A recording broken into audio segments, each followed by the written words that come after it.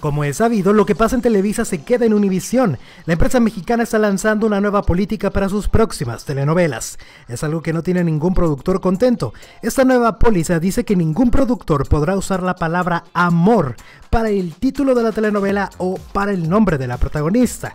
Que la última historia que tuvo este nombre fue Vino el Amor que produce el Güero Castro, pero que a partir de ahora todas las telenovelas tendrán que tener otro título. Esto porque era algo muy repetitivo.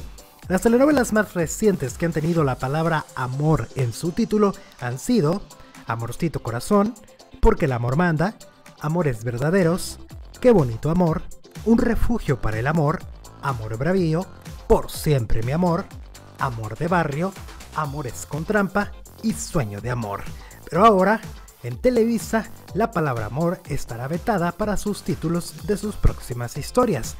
¿Tú qué opinas? ¿Te parece una buena decisión o te parece que fue un poco exagerado? Es momento de comentar. Como siempre, gracias por su atención. Les mando un muy fuerte abrazo. Los invito a suscribirse y a dejar comentarios en este canal. ¿Y qué les parece si nos vemos mañana con más información de la farándula? Hasta entonces. ¡Hey! No te desconectes. Deja un comentario debajo del video.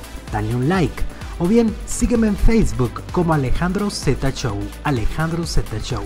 Mi Twitter es Alejandro Z Radio o suscríbete al canal para que veas nuestros nuevos videos antes que nadie.